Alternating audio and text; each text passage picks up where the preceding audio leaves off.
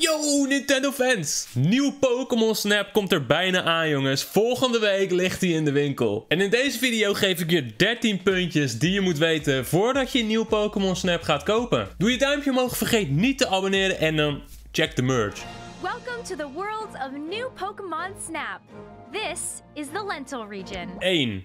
Het verhaal. Je vangt in nieuw Pokémon Snap geen Pokémon. Nee, je bent een fotograaf in de Lental region. Lental heeft verschillende gebieden waarin je verschillende soorten Pokémon kan vinden. Bijvoorbeeld een jungle, een strand of een woestijn. Het gotta catch 'em all gevoel zou je dus krijgen door het maken van een foto van iedere Pokémon in de game. Je verzamelt dus geen Pokémon voor de Pokédex, maar je maakt foto's van de Pokémon voor de Fotodex. 2 de karakters. Professor Mirror is de professor die je naar de Lental region haalt. Mirror betekent spiegel en ik vind het wel een leuke referentie naar een spiegelreflexcamera. Anyway, Professor Mirror wordt geholpen door zijn assistent Rita en je rivaal Phil. En nou is het aan jou om het fenomeen Illumina te gaan onderzoeken in de Lental region. Voor het eerst zullen de karakters in de cutscenes trouwens ook echt praten. Wat hopelijk ten goede komt van het vertellen van het verhaal. Net als in de klassieke Pokémon games kan je jezelf niet helemaal vormgeven, jammer genoeg. Nee, je kan gewoon weer kiezen uit 8 poppetjes waarmee je kan bepalen hoe jij eruit zal zien. Punt 3.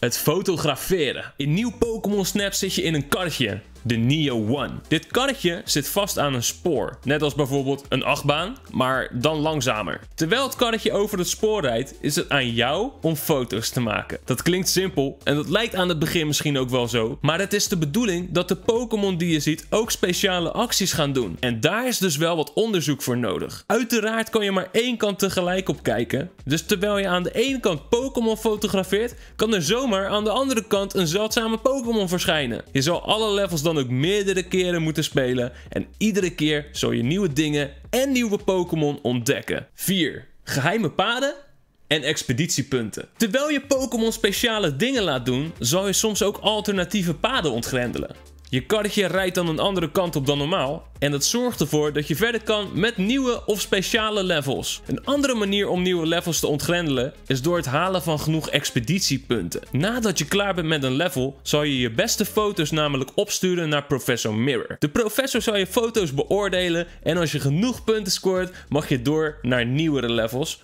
of kan je misschien een bestaand level in de nacht spelen, waardoor er weer andere Pokémon verschijnen. 5. Meer dan 200 Pokémon. Nieuw Pokémon Snap heeft meer dan 200 Pokémon die je kan fotograferen. Dat lijkt misschien weinig, maar het zal je toch lang genoeg zoet houden. De klassiekers Bulbasaur, Blastoise en Pikachu hebben we al gezien, maar ook nieuwkomers Scorbunny en Grookey zijn gespot in verschillende trailers. Het zal dus een mooie mix worden van de oude Pokémon en nieuwe Pokémon. Daarnaast is ook bevestigd dat Celebi zijn verschijning maakt. En daar ben ik super blij mee, want Celebi is een van mijn favoriete mythical Pokémon. Punt 6. Fruit? We gaan nog even terug naar het laten verschijnen van Pokémon of het laten doen van bijzondere acties. Hier heb je namelijk fruit voor nodig. In de game heet dit fluff fruit, of in het Engels fluff fruit. Met fluff fruit lok je de Pokémon naar een speciale plek waar zij hun kunstje gaan doen. En ook kan je je omgeving scannen en het schijnt zelfs dat je ook speciale muziek af kan laten spelen, waarmee je ook weer andere Pokémon aantrekt en kan laten dansen. Super interessant. Punt 7. Illumina Orbs. In de Lental region help je met jouw foto's dus om het verschijnsel Illumina te onderzoeken. En wat Illumina precies met Pokémon doet. Hier krijg je speciale Illumina Orbs voor. Een ronde bol waar mooie sparkles vanaf vliegen. Als je deze bollen naar Pokémon gooit, dan worden ze blij of worden ze wakker als ze slapen. En ook schijnt Illumina een effect te hebben op de omgeving en de planten die groeien in de Lental region. Hoe dit precies werkt, dat weten we nog niet, maar ik kan niet wachten om het uit te zoeken. Punt 8 fotobeoordelingen. Professor Mirror is dus de strenge leraar die jouw foto's beoordeelt. Je kan hier 1 tot 4 sterren mee verdienen. Afhankelijk van hoe goed jouw foto's zijn, krijg je ook expeditiepunten. Als je de beste foto's wilt maken, zul je de Pokémon in het midden van je kader willen krijgen. Ook de grootte en de hoeveelheid Pokémon die er in jouw foto te zien zijn, zijn van belang. De reacties van de Pokémon is ook belangrijk en daarom wil je ze speciale acties laten doen. Daarnaast moet je vaak proberen om de Pokémon zo dicht mogelijk bij je lens te krijgen. Uiteindelijk is het de bedoeling dat je jouw fotoalbum helemaal vult met van iedere Pokémon een foto met een 1 ster beoordeling, 2 sterren beoordeling, een 3 sterren beoordeling en natuurlijk de ultieme 4 sterren beoordeling. Puntje 9 Resnap. Hou jij van Photoshop? Dan is Resnap echt geniaal. In Resnap bewerk je namelijk je foto's. Je kan de helderheid en de blur instellen, je kan filters over je foto heen plaatsen en nog veel meer. Het leukste van dit alles zijn de stickers en frames die je kan toevoegen aan je foto. Hiermee maak je de meest hilarische bewerkingen en kan je jouw foto op een postkaartje laten lijken. Echt super tof. 10. Deel je foto's online. In nieuw Pokémon Snap kan je je foto's ook online delen. Andere spelers kunnen jouw foto's een sweet medal geven, wat eigenlijk gewoon een like is. Als je dan genoeg likes weet te krijgen, kan jouw foto op de trendingpagina van nieuw Pokémon Snap terechtkomen. Of zelfs in-game verschijnen. Nieuw Pokémon Snap bouwt hier leaderboards voor in het spel. En wie weet word jij wel de allerbeste fotograaf van de wereld. Hier heb je natuurlijk wel een Nintendo Online abonnement voor nodig. Punt 11. Gyro Controls. Net als Splatoon support nieuw Pokémon Snap ook Gyro Controls. Hiermee lijkt het net iets meer alsof je een echte camera in je handen hebt en dit zou moeten helpen om jou de perfecte foto te laten maken. Dit is geen verplichting.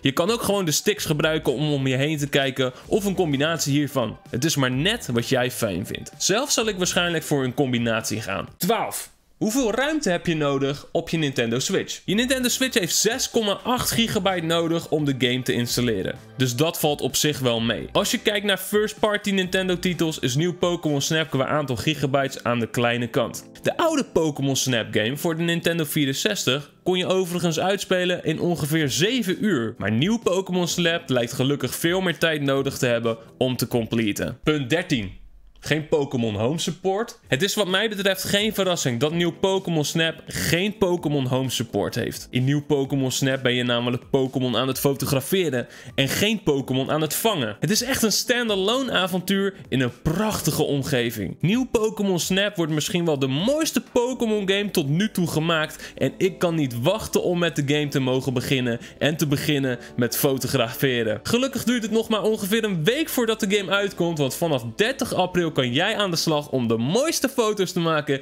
in nieuw Pokémon Snap. Gotta snap em all. Uh, klinkt eigenlijk ook wel lekker. Dat waren ze. 13 dingen die jij moet weten voordat je nieuw Pokémon Snap in huis haalt. Ik hoop dat je er wat aan hebt gehad. Laat het even weten in de reacties wat jij van nieuw Pokémon Snap vindt en of jij de game ook echt gaat halen. Vond je dit nou een leuke video? Doe dan een duimpje omhoog en vergeet niet te abonneren. En zet natuurlijk ook even alle notificaties aan, zodat je iedere dag op de hoogte wordt gesteld van een nieuwe Nintendo video op dit En dan zeg ik, zoals altijd, mazzel!